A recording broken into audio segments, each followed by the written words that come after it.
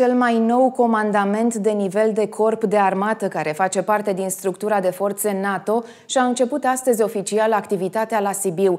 În țara noastră mai există încă două centre de comandă NATO la nivel de divizie la București și de brigade la Craiova. La evenimentul de inaugurare din orașul de pe Cibin a participat și mitropolitul Ardealului.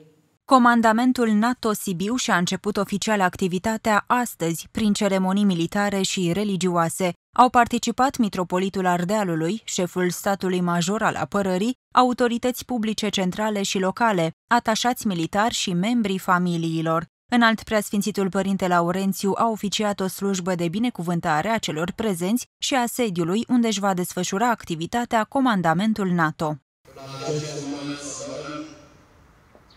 am lăsat rugăciune în mulțumire către Dumnezeu pentru toate nefacerile pe care le-a lăsat asupra ostașilor noștri și asupra acestui comandament special.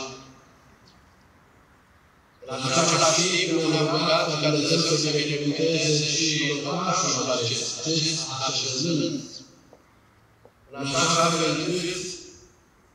كاتبها رئيسة الشفيع تقرأ إليك بالنار بالنسبة للباطشة الرجل يسولوك بكار سيدك أبو الرشد لا تشك إليه prima formulă de rugăciune, prima idee de care folosește fiecare vreau să fie de slujbe în pace Domnului să rugăm.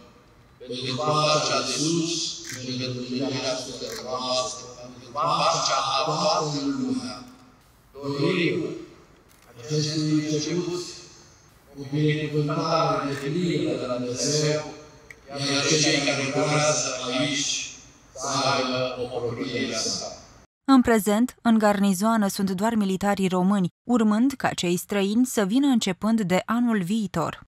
De la înființare și până astăzi, când participăm la ceremonia de prilejuite de redislocare și începerea activității comandamentului în garnizoana Sibiu, mare parte din agenda militară a fost construită în funcție de evenimentele acestui comandament. Activare în structura militară a NATO, obținerea statutului de comandament militar internațional, realizarea capacității operaționale inițiale.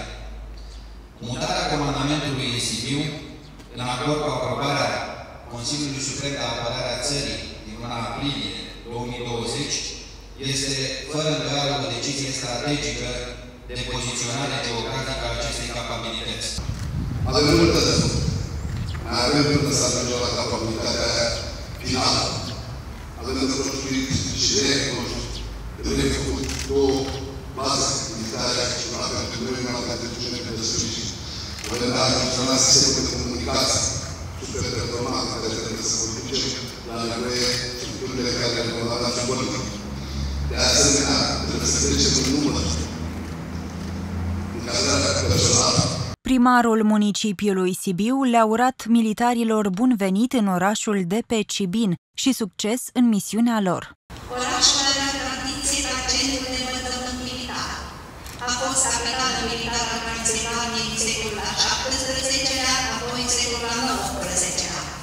Dar de acum, prin găzduirea unei astfel de structuri importante pentru Europa de Sud-Est și pentru colaborarea României cu NATO, orașul primește o nouă valență. Devine oraș gazdă a unei structuri militare de talie internațională. La final, șeful comandamentului NATO Sibiu a oferit oficialităților câte o plachetă aniversară. De asemenea, mitropolitul Ardealului a oferit comandamentului NATO o icoană cu Sfânta Treime.